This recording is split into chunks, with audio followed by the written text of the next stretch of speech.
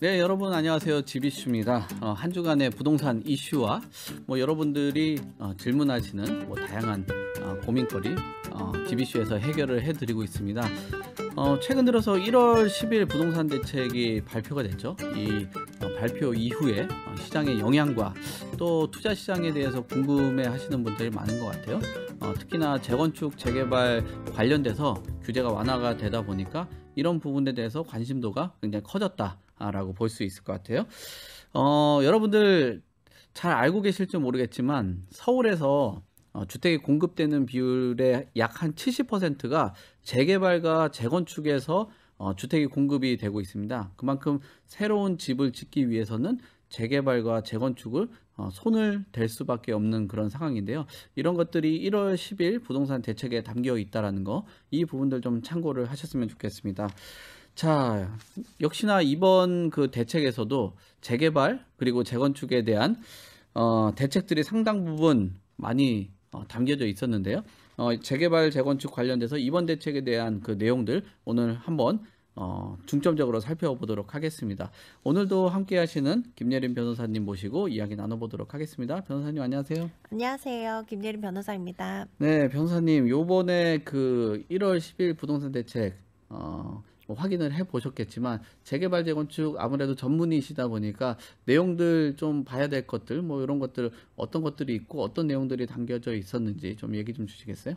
이번 1월 10일에 나온 부동산 대책을 보면은 이게 거의 다 재개발 재건축 정책 위주다라고 보시면 좋을 것 같아요. 예, 그 중에서도 이제 재건축과 재개발이 다르기 때문에 구분해서 보셔야 되는데 재건축 재개발 잘 구분 못 하시는 분들도 많거든요. 네. 재건축은 뭐 그냥 그 대표적으로 아파트 단지 아, 다시 짓는 거를 재건축이라고 한다라고 보시면 되고 재개발은 단독이나 빌라 같은 것들 밀집해 있는 지역을 이제 대상으로 이루어지는 사업으로 보시면 되는데 이번에 이제 재건축 관련해서 가장 이슈가 됐던 거는 안전 진단을 사실상 이제 폐지를 한다라는 거라고 보시면 되거든요. 네.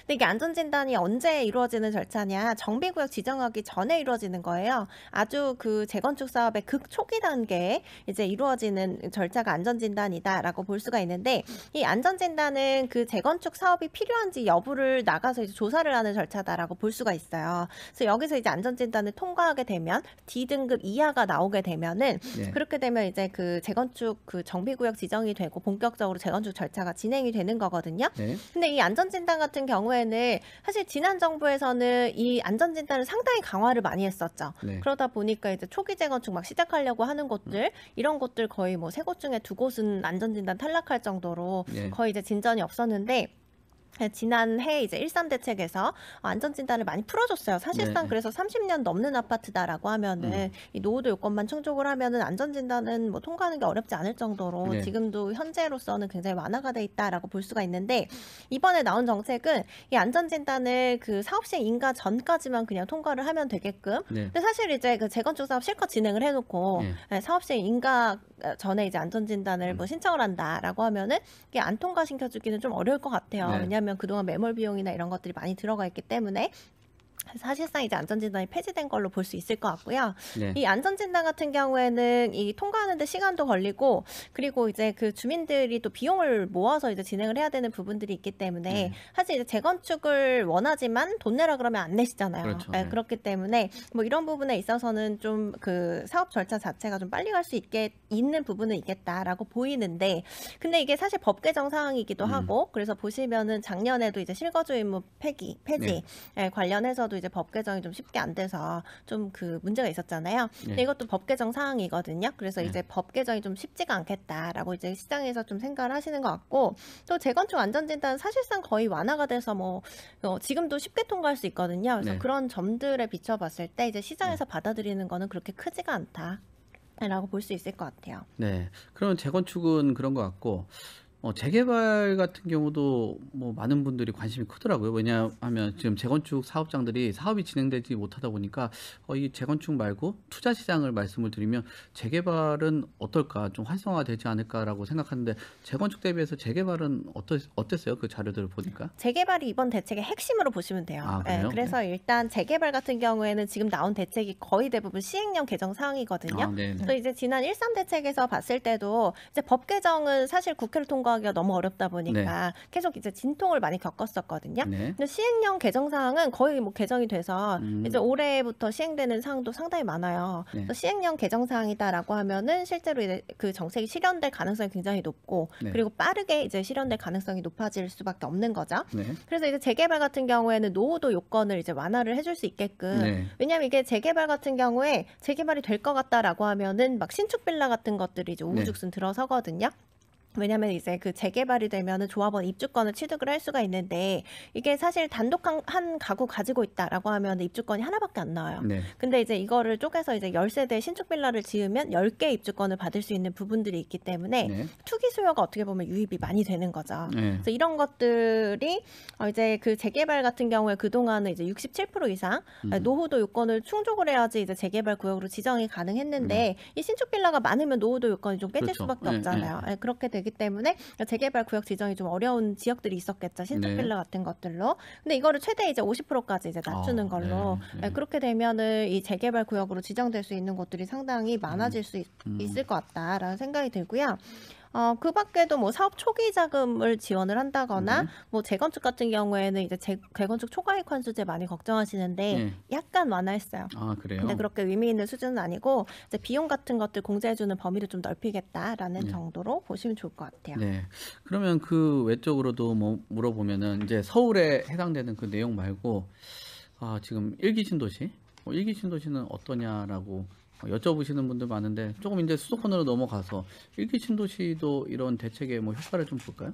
일기 신도시 특별법이 이미 통과가 됐기 때문에 음, 사실 이제 일기 신도시는 음. 관련해서 어느 정도 이제 그 정책이 좀 입법화가 됐다라고 볼 수가 있는데 네. 근데 일기 신도시는 사실 이제 막 시작하는 곳들이기 때문에 상당히 좀 오래 기다려야 된다라고 보실 네. 수가 있을 것 같아요. 그래서 이번에도 뭐 일기 신도시 관련해서 이제 정책들이 나오긴 했는데 네. 뭐 그중에 주요 사항들을 좀 보면은 네. 재건축은 뭐 사업 시행 인가 전까지 어쨌든 간에 안전진단 통과해야 되잖아요. 네. 근데 이제 일기 신도시 같은 경우에는 통합 재건축하면 아예 안전진단을 그냥 면제를 해주겠다라는 네. 거고 네. 뭐 기금이나 뭐 네. 이런 것들을 또 조성을 해서 음. 이제 그 좀 자금 지원을 좀 용이할 수 있게 네. 해주겠다라는 점들이 좀 이제 그 어, 이번 정책에 담겨 있어요. 그래서 네. 이런 것들도 실현이 어려운 건 아니라서 네. 예, 일부 이제 그 입법화가 뭐 진행이 될 것 같더라고요. 네. 그리고 작년에 좀 문제가 많이 됐었고 사회적인 파장이 있었던 그런 전세 사기 문제도 뭐 조금 당겨져 있을 것 같은데 그런 부분들 좀 간략하게 뭐 설명을 주시면은 뭐 시간 관계상 뭐 다 얘기 드릴 수는 없으니까 네. 뭐 간략하게 좀 주시면은 뭐 괜찮을 것 같은데. 그 이 전세 사기 관련해서도 사실 상당히 문제가 많았기 때문에 좀 보강된 정책들이 나왔어요. 네. 그래서 뭐 보증금 피해 같은 것들 이제 조금 더 지원을 많이 하는 방향으로 가고 네. 또 이제 전세 사기 예방책 같은 것들도 이제 일부 네. 나오고 했는데 그 중에서 또 이제 그 이것과 연계된 정책이 하나 나왔는데 소형 주택에 대해서 어떤 주택수 포함 안에서 네. 그래서 그 세금을 좀 경감시켜주는 그런 이제 정책이 나왔어. 왜냐하면 이제 전세 사기 같은 것들이 네. 사실 그 임대 임대인이 임대차 보증금을 제때 돌려주지 못해서 결국에는 이 집들이 뭐 경매에 넘어간다거나 아니면 임차인이 이제 손해를 본다거나 이런 일들이 발생하는 거잖아요. 네. 근데 이제 임대인이 팔아서라도 줄 수 있으면은 그러면 임대차 보증금 줄수 네. 있거든요. 네. 근데 지금 이제 그 뭐 역전세라던가 그리고 전세 사기 뭐 이런 이슈 때문에 사실 빌라 시장이 거의 붙- 얼어붙어 있다라고 볼 음. 수가 있어요. 그래서 이번에 이제 소형 주택 관련해서 이제 아파트가 아닌 상품들 빌라라던가 뭐 도생이라던가 오피스텔 뭐 이런 것들 이제 그 60제곱미터 이하인 거 네. 수도권 한 6억까지 예, 그리고 음. 이제 지방은 한 3억까지 뭐 이런 주택들을 매수를 하신다. 올해 내년에 지어진 걸 또 매수를 네. 하셔야 돼요. 예, 그렇게 됐을 때는 어 이제 그 종부세나 양도세나 취득세에 음. 있어서 이제 그 다주택자분들은 부분들은 중과가 되잖아요. 네. 근데 이런 것들을 주택수 불포함으로 봐서 세제 혜택을 주겠다라는 거고 음. 이게 그 뭐 올해 내년에 지어진 거 아니면은 그 임대 사업자를 등록하시면 또 같은 혜택을 받을 음. 수 있는 부분들이 있기 때문에 이제 제가 볼 때는 이번 정책으로 이제 수혜를 입는 거는 재건축보다는 재개발이다. 그리고 네. 재개발 신축 빌라 시장이 좀 네. 수요가 있겠다라고 보이더라고요. 네. 뭐 투자 시장으로 본다라면은 재건축보다는 뭐 재개발 시장들 그리고 어, 신축 빌라에 대한 그뭐 인센티브 그리고 특히나 말씀 주신 것처럼 어 최근 뭐 1년 그리고 뭐 내년 어 요 시기 때 어 뭐 좀 이제 준공이 나는 그런 신규 주택 같은 경우는 이런 혜택이 크다 보니까 이런 그 상품 중심으로도 많은 수요들이 갈 수도 있겠다라고 어, 생각이 되네요.